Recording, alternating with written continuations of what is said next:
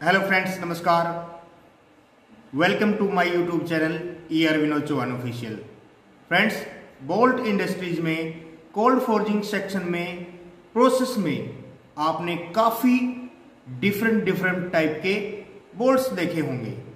Friends जैसे कि hex flange bolt socket head cap screw bolt C S K Allen bolt hex head screw और hex head bolt या फिर collar flange bolt friends आज के इस वीडियो में हम डिस्कस करेंगे कोलर फ्लेंज बोल्ट में यूज़ होने वाली कोलर ट्रिम डाई के बारे में friends friends collar trim die आपने मोस्टली इस टाइप का देखा होगा. लेकिन फ्रेंड्स आज जिस टाइप का ट्रिम डाई के बारे में हम डिस्कस करने वाले हैं, वो कुछ डिफरेंट टाइप का है. फ्रेंड्स किसी किसी इंडस्ट्रीज़ में collar trim die coated use करते हैं और किसी किसी इंडस्ट्रीज़ में अनकोटेड यूज़ करते हैं।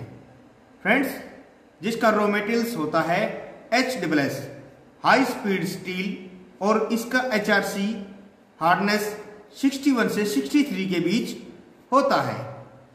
और फ्रेंड्स प्रोसेस में इस टाइप के कोलर टिम डाई का लाइफ अच्छा नहीं आने पर आप इस टाइप का कार्बाइड कोलेटिम डाई यूज़ कर सकते हैं। तो चलिए फ्रेंड्स बिना देरी किए वीडियो शुरू करते हैं। फ्रेंड्स वीडियो शुरू करने से पहले जो भी व्यूवर्स चैनल पर नए हैं या फिर जिन्होंने अभी तक मेरा यूट्यूब चैनल सब्सक्राइब नहीं किया है तो प्लीज़ चैनल को सब्सक्राइब करें और साथ साथ बेल आइकन को भी प्रेस कर दें ताकि वीडियोज़ की सभी नोटिफिकेशन अपडेट आपको समय से मिलती रहे।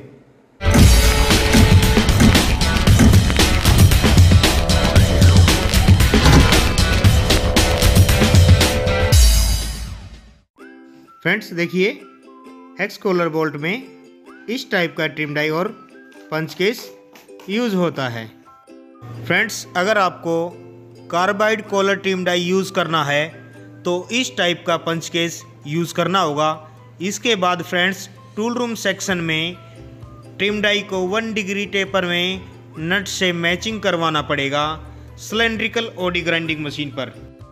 फ्रेंड्स टूल रूम सेक्शन में ओडी मैचिंग करवाने के बाद प्रेसिंग मार्जिन 1.2 पॉइंट mm रखें। ध्यान दें फ्रेंड्स टूल रूम सेक्शन में ओडी मैचिंग करवाने के बाद कार्बाइड कॉलर ट्रिम डाई का प्रेसिंग मार्जिन 1.2 पॉइंट mm रखें। उसके बाद डाई को प्रेस करने के बाद यूज़ करें। देखिए फ्रेंड्स डाई का प्रेस करने के बाद कुछ इस प्रकार से पंच का इंटरफेस देखने को मिलेगा। फ्रेंड्स आई गारंटीड टूल का प्रोडक्शन लाइफ पहले से काफ़ी अच्छा रहेगा और आपका टूल मैन्युफैक्चरिंग कॉस्ट भी काफ़ी कम हो जाएगा। फ्रेंड्स नट को अच्छी प्रकार से टाइट करें और कुछ इस प्रकार से आपके पंच का इंटरफेस देखने को मिलेगा।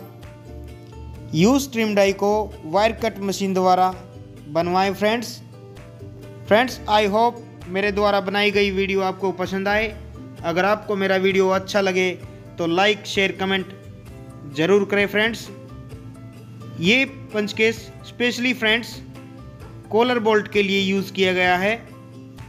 मिलते हैं फ्रेंड्स नेक्स्ट वीडियो में, तब तक के लिए बाय बाय